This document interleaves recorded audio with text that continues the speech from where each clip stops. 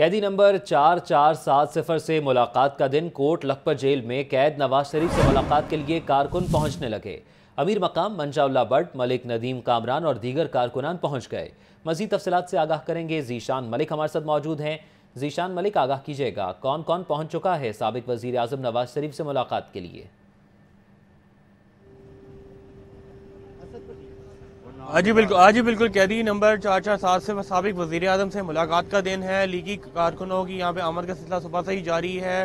میاں نوازی سے ملنے کے لیے یہاں پہ ایس این اقبال ایاز صادق وزیر اعلیٰ گلگت بلتستان حافظ حفیظ الرحمان، میئر لاہور مبشر جاوید بھی یہاں پہ پہنچے تھے اور انہوں نے میاں نوازی سے ملاقات کر رہے ہیں۔ یہاں پہ لیگی کارکنان کی کافی تعداد تھی جو میاں نوازی کے حق میں نعرے بازی بھی کر رہی تھی۔ میئر لاہور سے جب ہم نے بات کی، ان کا کہنا تھا کہ انصاف کا بول بالا ہوگا، میاں صاحب کی طبیعت ناساز ہے، انہیں پراپر ٹریٹمنٹ نہیں ان کا کروایا جا رہا ہے۔ یہی بات ایاز صادق نے بھی ہم سے گفتگو کرتے ہوئے کہا کہ جہاں پہ ان کا علاج ہونا چاہیے، وہاں پہ ان کا کروایا نہیں جا رہا۔ تو کافی مشکلات دیکھنے میں آ رہی ہیں کہ میاں صاحب کے سے ملنے جا رہے ہیں، ان کی عیادت کرنے جا رہے ہیں۔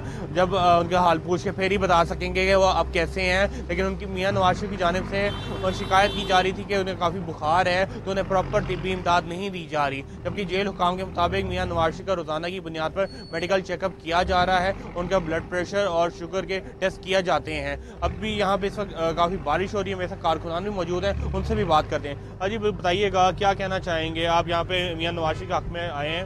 جی ہم میاں نواشی کے حق میں آئے ہیں اور یہ گورنمنٹ بہت زیادتی کر رہی ہے میاں صاحب سے۔ میاں صاحب کا پراپر علاج نہیں کروا رہی، جو ان کو دل کا مسئلہ ہے اور لے کے یہ سروسز اسپتال جا رہے ہیں جہاں پہ دل کا علاج ہے ہی نہیں۔